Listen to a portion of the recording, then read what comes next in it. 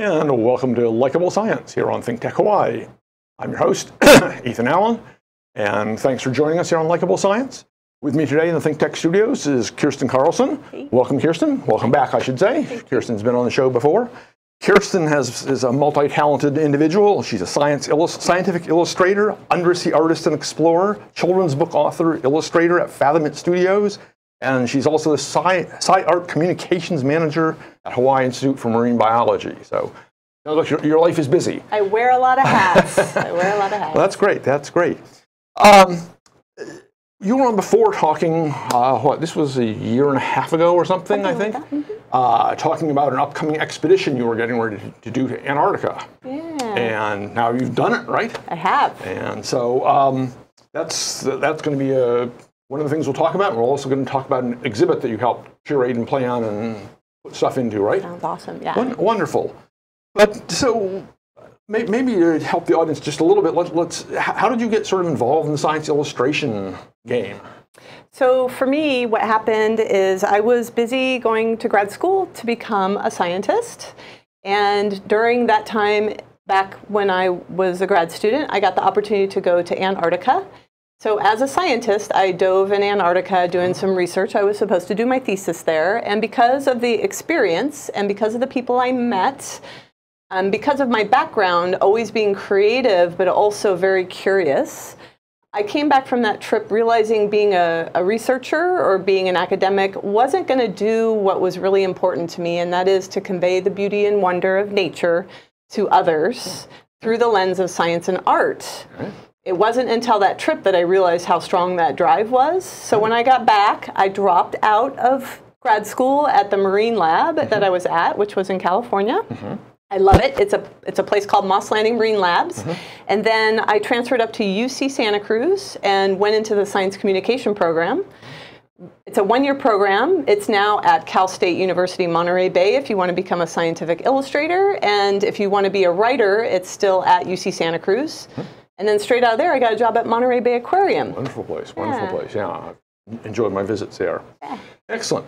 And so. Uh, I guess it was in 2017. You, you went, you got, you did go on this expedition, and so tell us a little bit maybe about, about that. How how long was it? How how big a ship? How many people? What what all did you do? Sure, sure. Um, if you guys could bring up the image of the map of Antarctica so I can orient everybody that's tuning in. So, when I went to Antarctica, both in 1992 and in 2017, I was headed to one of our bases that's the southernmost accessible diveable ocean on the planet, and that is at McMurdo Station, which is down at the um, bottom end of your screen. Palmer Station you reach by boat, and it is a little further. It is also accessible to diving, but I was very interested to go back to the place in 2017 that I was in, in as a grad student, and that was McMurdo. So to get there, you fly directly south from New Zealand on military transport. So if you'll give me the next slide. Uh, in 1992, when I went down, I was supposed to study icebergs and how they hit bottom and what they do to the benthic communities, i.e., the animals that live in and on the bottom, uh, when the iceberg hits. And then if you go to the next image, and one more image, sorry, I'm going to skip that for now. This is the military transport that took us down to Antarctica, both similar, similar boat, similar in 1992, and then in 2017. This is 2017. So we fly for about, I think that flight was about six hours, and we are on the Ross Ice Shelf there. We landed on the ice shelf, and if you go ahead and bring up the next image. You'll see that is me in a parka that we get uh, issued to us when we go to Antarctica to keep us nice and warm. Which you brought along, right? I did bring along. So um, if you'll just amuse us for a second, we're going to show you what this parka looks like. Amazing, It's- We all have name tags that you remove, so we know because they all look alike when you're hanging them on the hooks for lunch. And it is the best equipment on the planet to keep you warm in Antarctica. And your other other bits and pieces that go with this. Yeah, that's great. I will show you the other really important piece because I was out on the sea ice a lot. We were issued these fantastic boots that are lovingly called bunny boots. and bunny boots are military issue, and the reason why they're so important is this part of the boot here. I feel like I'm in a shoe commercial. This part is insulated with felt and foam and air to protect you from the six feet of sea ice that you're walking on. Otherwise, your feet would get really cold really fast. And this little dial right here, if you look from the side, it's a little more obvious. This is a valve that you open and close. So when you're in the warmth of a building, you keep it open, the air flows in, and then when you go out in the ice, you go ahead and close it. Also, when you're up in a plane, you want to have it open because these will explode, which I've not had done. So these are the boots we wore. Cool. And those two pieces were what I wore both in 1992 and in 2017, and they work fabulously. Wow. Yeah. Oh, you do need that special stuff when you're in that, You- you- that extreme condition, right? do, I mean, your yeah. temperatures were down at what? It's so Antarctica in the summer. So I was there October, November, and in the summertime, it's really not so bad. It's similar to a winter on the mainland. Okay. And uh, I, if you visit my blog, you'll see that I actually took an image of the first thing I saw every morning for the seven weeks I was down there. It's a view of Observation Hill, which is a significant landmark in McMurdo Station, and the sun never sets. It Okay. set for about three days when we first got there, and then it was up 24 7. Oh. And so you can see the weather change, and Uh-huh. it was variable between zero and about 20 something degrees. Not so bad. Okay. Colder than Hawaii. Right, a little But- bit. yeah. A little bit. Yeah. And yeah, being on, a, on an ice substrate, though, I mean, you're, you're uh, that's adds a certain chill to the whole thing, I'm And sure. the, the wind is key. When it was windy, and it often was, that's what brought the chill to Sure, the place. sure. Yeah. So, but so, what, what did you sort of, what were you doing on this on this uh, journey? So the important thing to know about my first trip and my second trip, the first trip I went down as a scientist. Right. The second trip I went down as a science communicator with the added hat of being a scientific illustrator. So my goal was to dive and collect data much like a scientist Okay. that I could use as an artist. So what that means is I went down to get underwater to see the sea life, to see the habitats, mm-hmm. to collect as much information as po- possible so that when I got back after the 7 weeks I could use it as reference. So we have some more images. If you'll bring up the yeah, that one is a great one to start with. That is me underwater with all my accoutrements. And this is ice above you. That's what this sort of dark shadows, or Yes. Okay. So the thing about Antarctica underwater, which is really different than above water, is that it's very dark because the layer of sea ice is about six feet thi- thick, and there's a layer usually of snow that comes and goes on top of it, and it makes everything kind of twilighty, murky. Mm-hmm. Not murky, clear, but twilighty. Mm-hmm. So I had a light on just about every dive. And what you'll what you're seeing in that image is me with my camera and my dive slate. So I mm-hmm. draw underwater with underwater paper that's plastic and a uh-huh. pencil. I take color notes and then I will show you in a little bit. I developed something where I would come back to the warmth of the cubicle with a nice hot cocoa and augment the drawings. So in this picture, you're seeing the sea ice above me, a crack, which is right in front of me, above me. So that's where a pressure ridge is, where two pieces of ice are meeting and are, are crush, crushing into each other. Okay. And then in the foreground, there's these little platelets of ice that kind of look like snow. And if this were a video, you would see that they are actually going up rather than down like snowflakes because they're ice. Ah, And all that stuff in front of me is anchor ice. Anchor ice is a major feature in the shallows in Antarctica. And it causes a lot of problems for the sea life. If they can't get out of the way or if they're not moving out of the zone, they can get encased in ice and lifted up to the under ice surface, which is not a good place to be when you're a benthic animal. right, exactly. Mm-hmm. Cool, excellent. So uh, that strikes me as being very challenging uh, drawing underwater uh, because you're floating around, you're, you're orienting in different ways. Your, your subjects may be moving or floating or sinking, whatever. Yeah. Your, your medium that you're in is more dense than air. And the kinds of things you're wearing on your hands makes a yes. difference. Oh, yes. So this is so in Antarctica you wear a dry suit, which we will see an image of shortly. This is a glove that is attached to the dry suit, which looks like I can wash dishes in it, but it's not. Inside are three glo- or two two inserts. Uh, we've got the thin one. I'll go. I'll hold it off to the side so you can see it. Oop. And then we have this one, which is thicker, very visible. And the most important layer, which keeps my hand dry, And in 1992, as a grad student, I was I was given wet gloves to wear, and it's much different when you wear dry gloves. Um, my return to Antarctica on my first dive was me squealing underwater at minute 22 because my hands had not yet gone numb, which was typical when I was a 24 year old down there uh-huh. diving. So I was so happy. and it is the cold that stops that stops you. I very rarely ran out of a tank of air. It's always I'm getting a little cold. I need to be safe. I need to be warm again. So I'll go and back to the surface. Right. Yeah. Yeah. Because I'd imagine hypothermia must be a real constant threat there. If I didn't have the equipment, Right. absolutely Yeah. that would set in lickety split. But Yeah. because of all the gear, Right. I was pretty. But still, after some time, going to be. Yeah. yeah, it can be a problem. Yeah. Okay. Great. Yeah. Excellent. Excellent.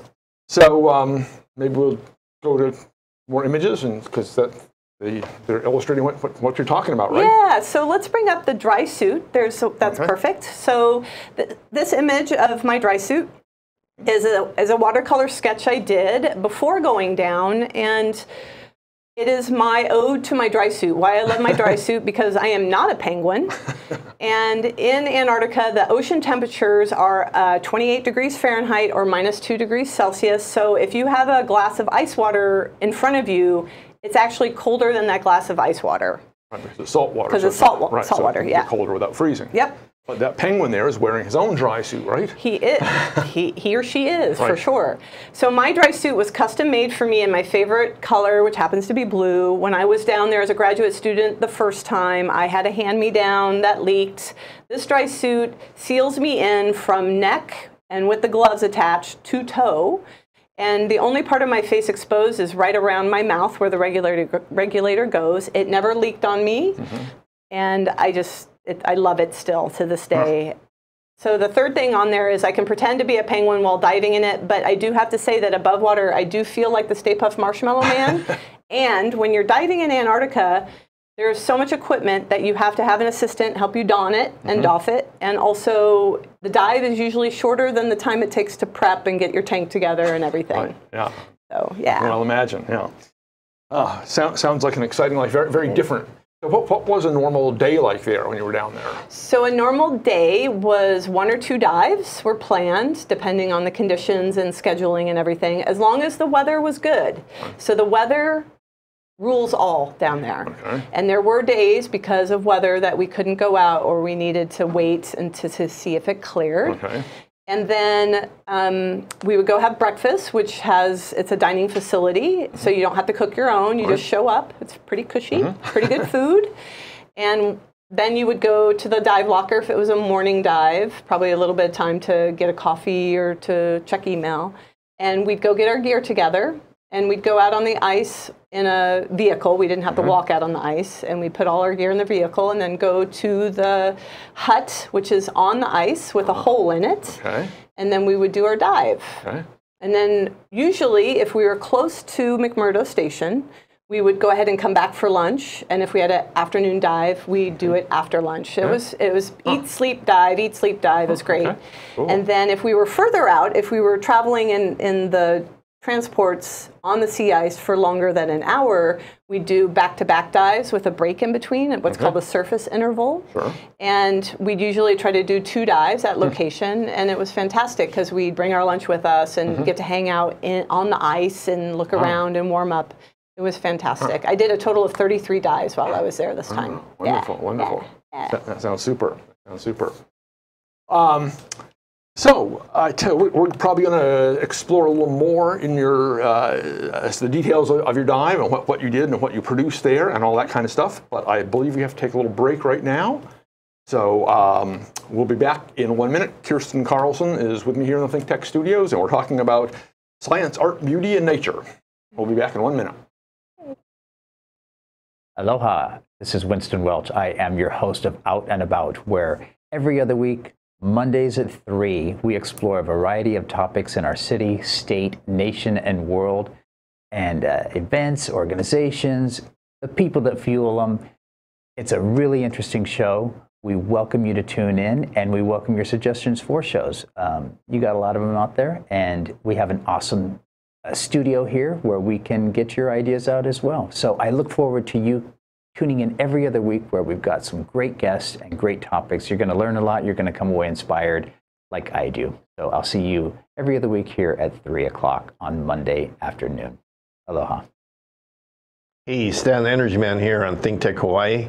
And they won't let me do political commentary, so I'm stuck doing energy stuff. But I really like energy stuff, so I'm going to keep on doing it. So join me every Friday on Stan Energy Man at lunchtime, at noon, on my lunch hour. We're going to talk about everything energy, especially if it begins with the word hydrogen. We're going to definitely be talking about it. We'll talk about how we can make Hawaii cleaner, how we can make the world a better place, just basically save the planet. Even Miss America can't even talk about stuff like that anymore. We got it nailed down here. So we'll see you on Friday at noon with Stan the Energy Man. Aloha.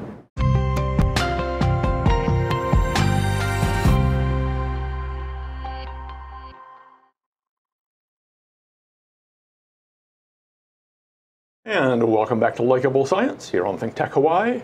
I'm your host, Ethan Allen. With me today in the Think Tech studios is Kirsten Carlson, scientific illustrator, undersea explorer, artist, uh, book author, uh, sci, sci art communications manager, all, all, these multiple hats she wears. And we were talking earlier about the uh, your trip to Antarctica uh, that you did in 2017 and the dives you did there under under the ice and the illustrations you were you were making, and uh, it, just sounds like a really fantastic experience uh, wonderful blending, seeing you're, you're, you're illustrating and, and, sharing some of the beauty that, that is very inaccessible to most people, right? Underwater in, in Antarctica. Um, but you also saw other things around on the surface, penguins and stuff like that. And I think we have a, an illustration shows some selection of your art. So I'm going to share this with you today because it shows you how my first trip to Antarctica inspired me in many, many ways and why the second trip is the perfect partner to that first trip. So bear with me. I will just run you through with little verbal captions of what you're seeing on screen right now. So in the upper left is a field sketch of an emperor penguin. And it's the largest and furthest south dwelling penguin on Earth. This penguin is one that I saw on my first trip to Antarctica and second trip. Their site where they raise their young is right around the corner from McMurdo Station. We didn't visit, but I waved as we flew over. Uh, the emperor penguins, the penguins are something we see on the surface, not underwater while we're diving, because they usually hang out near the sea ice. And all my diving took pl place well within the sea ice edge and it was in areas they wouldn't dive. They like being near the open ocean. Right. So the middle one is where the land and sea meet, which is an interactive activity book that highlights different intertidal zones around the world, including Antarctica. And I worked with scientists because of my science background and my marine science background in particular. I did the design work and the illustration work for this book. It's available through Alaska Sea Grant. And it highlights all the animals you can see in the intertidal. Wonderful, wonderful. The third one over is Sea Secrets. That's another nonfiction book done with scientists for the public, for children. And it's a great book that talks about two long-term ecological research projects that our government is funding through the National Science Foundation, the same people who funded my trip in 2017 to Antarctica. Yay for NSF. Yay for NSF. and Sea Secrets ties together these two long-term ecological research trips, uh, sorry, projects in California and in Antarctica with their the krill, which I don't have an image of, I'm sorry, but it is on that cover, and how the animals pictured in there feed off the krill and how mm-hmm. interdependent all those ecosystems are and what's right. happening right. as time passes to those relationships. Right. Krill, in some sense, are sort of the basis of a lot of the food chains they, in the ocean, right? Absolutely, yeah. absolutely. I don't find them tasty, but. and then we're going to continue clockwise. So down in the middle there is a children's type illustration of a not real thing that I wish could happen is an Adelie penguin making a snow angel. That trail though by his flipper is a toboggan trail and they do actually make those and I saw that for the first time in 1992 hmm. and was blown away by just watching them skid over the sea ice in a very speedy hmm. motion on their bellies. Mm -hmm. The lower right is my logo, which I think we should at the beginning. The middle one is Weddell seals, and the reason I want to spend a second on them is they are the furthest south marine mammal on the planet.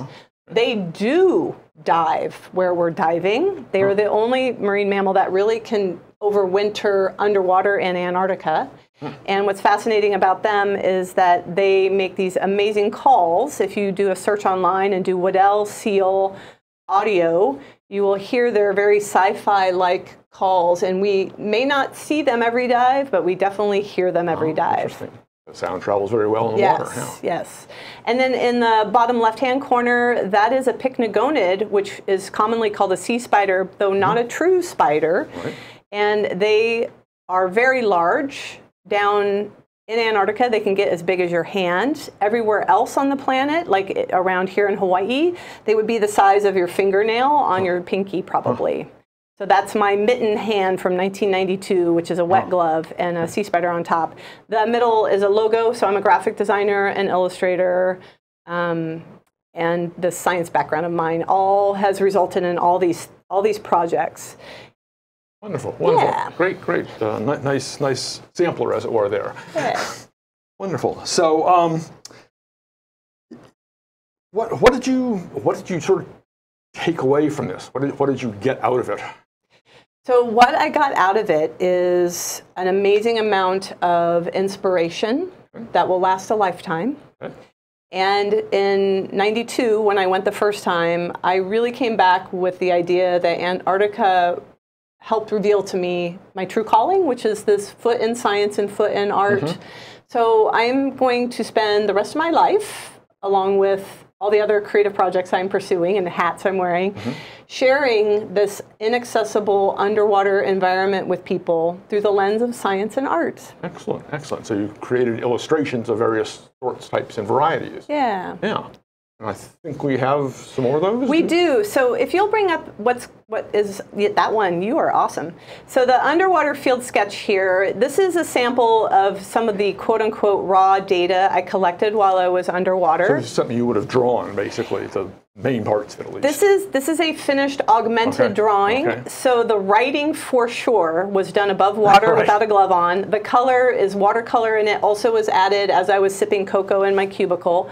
But the drawings, about three of the drawings on the page are done underwater and then I would come back up and the habit was to come back up and then add notes so I would remember. If you look in the upper right hand corner, you'll see that the dive is actually listed. This was a dive at a place called the Jetty, which was very near McMurdo Station. It happened to be our primary dive site. It was done on um, October 27th which was a Friday, and this was a afternoon dive. It looks like I, I can't quite Okay. read that, but you viewers at home can see it.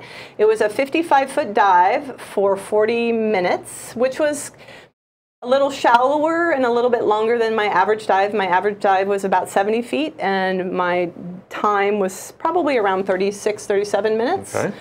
And then this was dive number three. So this was very early in the process. And it wasn't until about, this was a seven week trip, and it wasn't about until about week four that I decided that I needed to start augmenting my drawings because my drawings underwater were pretty primitive. Right. But the reason you draw underwater, or the reason you really sketch at all, is not always to make a pretty picture. It's to understand in a in a deep seated way what you're seeing. So. Mm-hmm.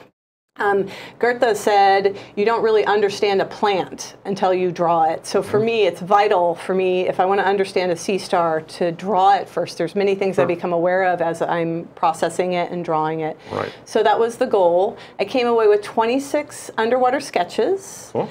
And I didn't bring samples of them with me today. I'm really sorry. I have to come back and show you. Yes, indeed. But the other thing that I got was hours of footage and oh. many photographs. Okay. And I think we have a couple of those. If you'll bring up the one that looks like icicles underwater, maybe? yeah. Perfect. So I was very interested because of my science background at looking at different habitats. And mm-hmm. this is one of the shallow habitats. What you're looking at is the anchor ice like you saw in a previous image at the start of the program. Right. But this is a very different kind of anchor ice. You notice they're kind of like little bouquets underwater. Right. You can see the subsurface, you can see the actual sediment, and mm-hmm. then the things that look like stalactites or chandeliers hanging from the under ice surface are brine channels. And those ah. happen as the fresh water sinks, melts and sinks through the cracks in the ice. And as it hits the salt water, it freezes out. And they actually flow almost like upside down volcanoes.